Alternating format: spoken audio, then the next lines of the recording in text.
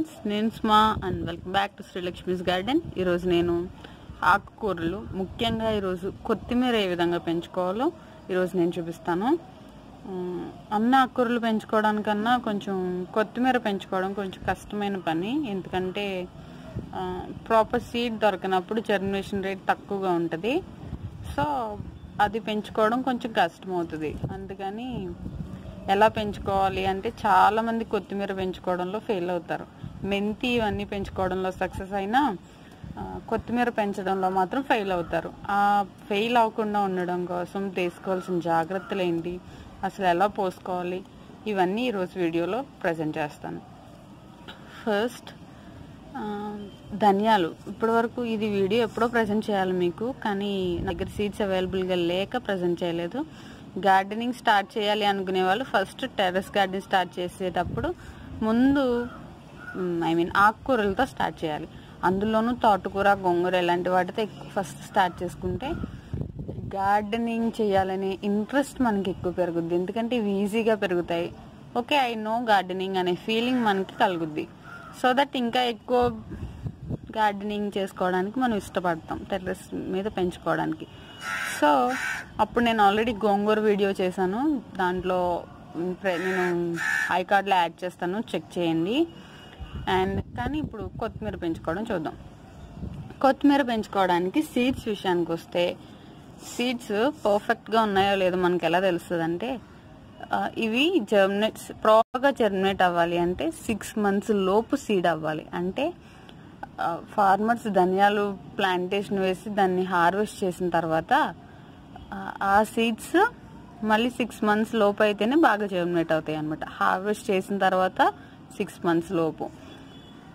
అంతకన్నా ఎక్కువైతే germination rate తగ్గిపోద్ది. అందుకని ఎక్కువ మరి ప్రాపర్గా ఉండవు. ఫార్మర్స్ వాటిని శుభ్రంగా ఎండబెట్టి చక్కగా నిల్వ చేయడానికి ఐ మీన్ అప్లై చేసి గోడౌన్స్లో దాచేవాళ్ళు కూడా వీటిని ఎక్కువ రోజులు నిల్వ ఉంచడం కోసం బాగా ఎండబెట్టి వాటిని నిల్వ చేస్తారు. సో ఇలా నిల్వ చేయడం వల్ల మనకి వన్ ఇయర్ అలా కూడా ఉంటాయి సీడ్స్ మనకు వచ్చే దగ్గరికి. వన్ ఇయర్ పట్టేసిన సీడ్స్ ఏమో మన దగ్గర సరిగ్గా జర్మినేట్ కావు. అందుకే మనకి మార్కెట్లో వచ్చే ధనియాలు వీటిని మనం సరిగ్గా జర్మినేట్ కావన్నమాట మనకి. అందుకని వీటిలో ఎక్కువ ఫెయిల్ అవుతూ ఉంటాం. సో వాళ్ళని అడగండి ఫ్రెష్గా ఫార్మర్స్ దగ్గరలో ఉంటే ఫార్మర్స్ దగ్గర తెచ్చుకోండి. లేదా బెస్ట్ కంపెనీ ఏంటో చూస్ చేసుకోండి. సిక్స్ మంత్స్ లోపు విత్తనం తెచ్చుకోవడానికి ట్రై చేయండి. అండ్ ఇది విత్తనం సెలక్షన్ యొక్క విషయం. నెక్స్ట్ సాయిల్ విషయానికి వస్తే సాయిల్ చాలా లూజ్గా ఉండాలి. కోకోపిట్ మెన్యూర్ గార్ ఐ మీన్ వర్మీ కంపోస్ట్ ఇసుక కూడా ఎక్కువగా ఉండాలి. లేదండి అసలు వెల్ డ్రైన్డ్ సాయిల్ ఉండాలి. సేమ్ సాయిల్ రెసిపీ నేను చెప్పినట్టు ఫాలో అయితే మీకు చాలా బాగా జర్మినేట్ అవుతాయి.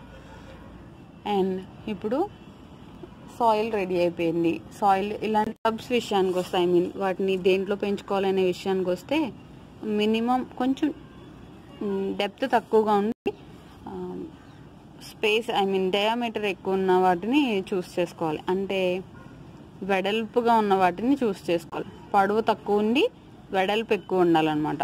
వీటిని చూస్ చేసుకోండి.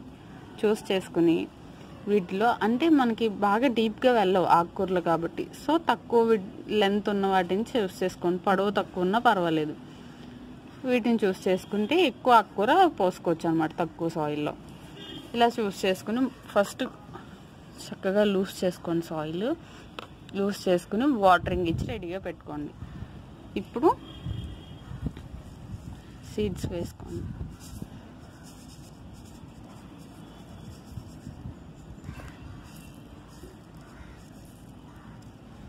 ఓకే ఈవెన్గా స్ప్రెడ్ చేయండి. ఓకే వేసి దీనిపైన సింగిల్ లేయర్ మాత్రమే మట్టి వేయండి. ఎందుకంటే దీని సీడ్ చాలా చిన్నగా ఉంటుంది కాబట్టి డీప్గా ఉండి జర్మినేషన్ రేట్ సరిగ్గా ఉండదు. డీప్గా వేయకూడదు మట్టి. వాటిని లోతుగా వెళ్ళనివ్వకూడదు అనమాట ఒక లేయర్ మట్టితో కవర్ చేసేసేయండి. ఓకే? కవర్ చేసి వాటరింగ్ ఎలా ఇవ్వాలి అంటే ఏదైనా స్ప్రేస్తో వాటరింగ్ ఇవ్వండి. లేదంటే ఇవి డీప్గా వెళ్ళిపోతాయి. ఫోర్స్గా వాటర్ పోస్తే చిన్న సీడ్ కదా. ఐ మీన్ ప్రాపర్గా మాలో అనమాట హాఫ్ ఈ రోజు వేసుకున్నాం. మళ్ళీ ఇంకొక హాఫ్ ఇంకొక రోజు వేసుకోండి. అలా ఫోర్ ఫైవ్ టబ్స్ పెట్టుకుంటే మీకు ఇలాంటి టబ్స్ మీకు మీరు అసలు ప్రతిరోజు హార్వెస్ట్ చేసుకోవచ్చు అనమాట మీ ఫ్యామిలీకి సరిపడా అంతా. ఎన్ని రోజులకు మొలుస్తుంది? జర్మినేషన్ స్లోగా ఉంటుంది దీంట్లో. వన్ వీక్కి మనకి వన్ వీక్ లోపు జర్మినేషన్ స్టార్ట్ అవుతుంది. ఓకే ఇది ఫిఫ్టీన్ డేస్కి ఒకసారి హార్వెస్ట్ చేసుకోవచ్చు. సో వీటిని ఎక్కువ టైం పడుతుంది కాబట్టి ఇది రావడానికి చూస్ చేసుకోండి మీరు ఒక రోజు గ్యాప్ ఇచ్చి ఒక రోజు వేసేసుకుంటూ ఉంటే మీకు వెంట వెంటనే డైలీ తీసుకోవడానికి వీలు కుదురుద్ది అనమాట సో ఇది ఫ్రెండ్స్ కొత్తిమీర హార్వెస్ట్ చేసుకో కొత్తిమీర పెంచుకునే విధానం. అండ్ ఇవి ఎక్కువగా ఎందుకు పడిపోతాయి అంటే ఎక్కువ ఎండ ఉన్నప్పుడు పడిపోతాయి. And at the same time ఎక్కువగా వాటరింగ్ ఎక్కువైనా కూడా పడిపోతాయి. వాటరింగ్ మీరు ఎక్కువ ఇస్తున్నారేమో చూసుకోండి. పై లేయర్ ఎండినప్పుడు మాత్రమే వాటరింగ్ ఇవ్వండి. అది స్ప్రేయర్స్తో మాత్రమే వాటరింగ్ ఇవ్వండి. ఓకే? లేదంటే చెయ్యి అడ్డు పెట్టి చల్లండి వాటర్. అంతేగాని డైరెక్ట్గా వాటి మీద పోస్తే మాత్రం పడిపోతాయి. ఈ కేర్ తీసుకోండి ఫ్రెండ్స్. ఇంకా బాగా ఎక్కువ ఎండలో పెట్టొద్దు కొంచెం షేడీ ఏరియాలోనే పెట్టండి. అన్నానే అసలు ఎండ తగలకుండా ఉన్న ప్లేస్లో కూడా పెట్టకుండా ఉండకూడదు. అసలు పెట్టకూడదు. అస్సలు ఎండ తగిలిన ప్లేస్లో కూడా పెట్టకూడదు అనమాట ఇది ఫ్రెండ్స్ ఈరోజు ఇది చెప్తాను. నెక్స్ట్ ఇది జర్మినేట్ అయిన తర్వాత కూడా మీకు తీసి చూపిస్తాను. ఎలా ఉంది ఏంటనేది మీకు విత్ అప్డేట్తో చూపిస్తాను. Thank you friends. One week నుంచి టెన్ డేస్ మధ్యలో మొక్కలు ఇలా ఉంటాయి? ఇది ఫిఫ్టీన్ డేస్ మొక్కలు. చూసారా ఎంత గుబురుగా వచ్చిందో? ఒక్క గింజ కూడా పోకుండా చక్కగా మొలిచింది. ఇవి కావాలనుకున్నప్పుడు డైరెక్ట్గా పీకేసుకోవాలి. మళ్ళీ కట్ చేస్తే అవి పెరగవు.